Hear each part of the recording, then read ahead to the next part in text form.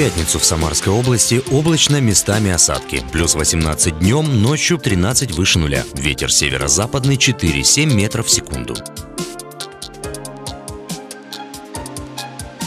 В Сызрани пасмурно небольшой дождь. В дневное время плюс 19, ночью плюс 14. Ветер северо-западный 6-12 метров в секунду.